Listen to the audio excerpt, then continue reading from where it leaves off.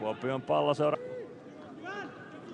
Järvinen ehtiikö tähän ennen päätyä? Kyllä ehtii keskitys, se ottaa vielä pikku kimmokken. Omas eteenpäin Nissilä. Tilanne muutos. Kario. Kario keskitys, se tulee keskustaan, Udo jatkaa ja siitä onnistuu Filion torjumaan pallon riman kausi. Kupsia piristäneen. Tässä vielä tilanne uudestaan. Dani Kario keskittää tuosta. Udo saa jalkansa eteen. Jan Filion upea rea. Koskela.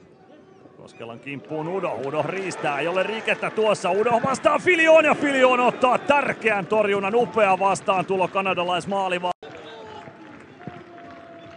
Alustavat ero tuomarit Jouni Lemettinen ja Samu Koskinen ja nyt joutuu Jan Filion paikki ennen päätyviivaa. Kario. Karion vasurin keskitys. Se tuo pallon se Jukvun päähän ja pusku suoraan Filionin boksin sisälle. Arttu Heinonen pääsee kääntymään. Laukaus Filion torjuu irtopallo vielä pelissä ja se siivotaan vaihtoehtoa. Pitkä käytetään. Filion nyrkkeeneen väliin.